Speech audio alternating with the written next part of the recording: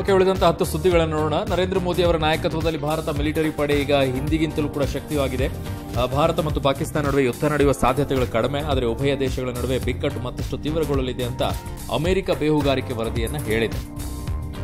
ಭ್ರಷ್ಟಾಚಾರ ಆರೋಪ ಸಂಬಂಧ ಮಹಾರಾಷ್ಟ್ರ ಮಾಜಿ ಗೃಹ ಸಚಿವ ಅನಿಲ್ ದೇಶ್ಮುಖ್ ಸಿಬಿಐ ಮುಂದೆ ಹಾಜರಾದರು. ಮುಂಬೈನ ಬಾರ್ ಮತ್ತು ರೆಸ್ಟೋರೆಂಟ್ಗಳಿಂದ ತಿಂಗಳಿಗೆ ನೂರು ಕೋಟಿ ರೂಪಾಯಿ ವಸೂಲಿ ಮಾಡುವಂತೆ ಪೊಲೀಸ್ ಅಧಿಕಾರಿಗಳಿಗೆ ಸೂಚಿಸಿದ್ರು ಎಂದು ಮುಂಬೈನ ಮಾಜಿ ಪೊಲೀಸ್ ಕಮಿಷನರ್ ಪರಮ್ಬೀರ್ ಸಿಂಗ್ ಆರೋಪಿಸಿದರು.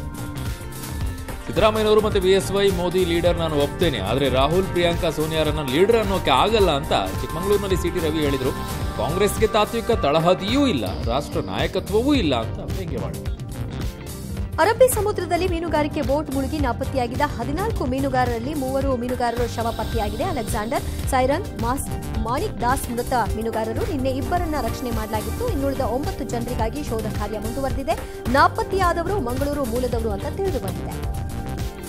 ಮಾರ್ಚ್ನಲ್ಲಿ ಸುಯೇಜ್ ಕಾಲುವೆಯಲ್ಲಿ ಹೂಳಿನಲ್ಲಿ ಎವರ್ ಗಿವನ್ ಹಡಗು ಸಿಲುಕೊಂಡಿತ್ತು. ಜಾಗತಿಕ ಮಾರುಕಟ್ಟೆಯಲ್ಲಿ ಭಾರಿ ನಷ್ಟ ಆಗಿತ್ತು. ಪರಿಹಾರವಾಗಿ ಒಂಬೈನೂರು ಮಿಲಿಯನ್ ಡಾಲರ್ ನೀಡಬೇಕು ಅಂತ ಸುಯೇಜ್ ಕಾಲುವೆ ಪ್ರಾಧಿಕಾರ ಜಪಾನ್ ಮೂಲದ ಹಡಗು ಮಾಲೀಕರಿಗೆ ಸೂಚಿಸಿತ್ತು. ಆದರೆ ಇವರಿಗೂ ಹಣ ಪಾವತಿಸುತ್ತಿದ್ದಕ್ಕೆ ಎವರ್ ಗಿವನ್ ಹಡಗನ್ನು ಸುಯೇಜ್ ಪ್ರಾಧಿಕಾರ ತನ್ನ ಸುಪರ್ದಿಯಲ್ಲೇ ಇಟ್ಕೊಂಡಿದೆ.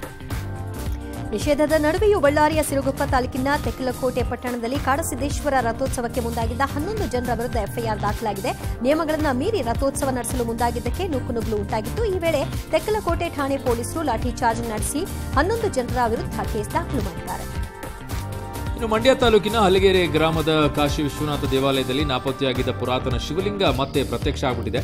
ಸೋಮವಾರ ರಾತ್ರಿ ಶಿವಲಿಂಗ ಮಾಯ ಆಗಿತ್ತು ಲಿಂಗ ಕಳುವು ಆಗಿದೆ ಅಂತ ಕೆರಗೋಡು ಪೊಲೀಸ್ ಠಾಣೆಯಲ್ಲಿ ಪ್ರಕರಣ ದಾಖಲಾಗಿತ್ತು. ಆದರೆ ಇವತ್ತು ದೇವಾಲಯದ ಗರ್ಭಗುಡಿಯಲ್ಲೇ ಶಿವಲಿಂಗ ಪತ್ತೆಯಾಗಿದ್ದು ಗ್ರಾಮಸ್ಥರು ನಿಬ್ಬೆರಗಾಗಿದ್ದಾರೆ. ಯಾರು ತಗೊಂಡೋಗಿದ್ರು ತಂದಿಟ್ಟಿದ್ದಾರೆ ಬಿಜೆಪಿ ವಿರುದ್ಧ ಇವತ್ತು ಕೂಡ ಪಶ್ಚಿಮ ಬಂಗಾಳ ಸಿಎಂ ಮಮತಾ ಬ್ಯಾನರ್ಜಿ ವಾಗ್ಪ್ರಹಾರ ಮುಂದುವರೆಸಿದ್ದಾರೆ. ಭದ್ರತಾ ಪಡೆಗಳ ಗುಂಡಿಗೆ ಬಲಿಯಾದ ಕೂಚ್ ಬಿಹಾರ ಸಂತ್ರಸ್ತರ ಕುಟುಂಬದವರನ್ನ ಭೇಟಿ ಮಾಡಿ ಧೈರ್ಯ ತುಂಬಿದ್ರು. ಪಶ್ಚಿಮ ಬಂಗಾಳದ ಎಪ್ಪತ್ತು ಕ್ಷೇತ್ರಗಳಲ್ಲೂ ಬಿಜೆಪಿ ಗೆಲ್ಲೋದಿಲ್ಲ. ಬಿಜೆಪಿ ಎಲ್ಲಾ ಕಡೆಗಳಲ್ಲೂ ಬರೀ ಸುಳ್ಳನ್ನೇ ಹೇಳಿಕೊಂಡು ಬರ್ತಾ ಇದೆ ಅಂತ ಕೇಂದ್ರ ಬಿಜೆಪಿ ನಾಯಕರ ವಿರುದ್ಧ ಕಿಡಿಕಾರಿದರು. ಯಮನ್ನ ಡಿಜಿ ಬೌಟಿ ಕರಾವಳಿಯ ಬಳಿ ಕಳ ಸಾಗಾಣಿಕೆದಾರರ ದೋಣಿ ಅಪಘಾತಕ್ಕೀಡಾಗಿ ಸುಮಾರು ನಲವತ್ತೆರಡು ವಲಸಿಗರು ಸಾವನ್ನಪ್ಪಿಟ್ಟಿದ್ದಾರಂತೆ ಪಾಪ ಕಳ ಸಾಗಾಣಿಕೆದಾರರು ನಡೆಸ್ತಾ ಇದ್ದಂಥ ದೋಣಿ ಸೋಮವಾರ ಮುಂಜಾನೆ ಡಿಬೌಟಿಗೆ ಹೋಗುವಾಗ ಅಪಘಾತಕ್ಕೀಡಾಗಿದೆ. ಮಾರ್ಚ್ನಲ್ಲಿ ಯಮನ್ನಿಂದ ಬರುವ ವಲಸಿಗರ ಸಂಖ್ಯೆಯೂ ಕೂಡ ಇನ್ನೂ ಹೆಚ್ಚಾಗಿದೆ. ಚಿಕ್ಕಮಗಳೂರಿನ ಮೂಡಿಗೆರೆ ಪಟ್ಟಣದಲ್ಲಿ ಕಾಡಾನೆ ಹಾವಳಿ ಜಾಸ್ತಿಯಾಗಿದೆ ಹಲಸೆ ಹುನ್ನಳ್ಳಿ ಸಮೀಪ ಒಂಟಿ ಸಲಗ ಬೀಡು ಬಿಟ್ಟಿದ್ದು ಸಿಕ್ಕ ಸಿಕ್ಕವರ ಮೇಲೆ ದಾಳಿ ಮಾಡ್ತಾ ಇದೆ. ನಗರದೆಲ್ಲೆಡೆ ರಾಜಾರೋಷವಾಗಿ ತಿರುಗಾಡ್ತಾ ಇರುವ ಕಾಡಾನೆ ಸಿಸಿಟಿವಿಯಲ್ಲಿ ಸೆರೆಯಾಗಿದೆ.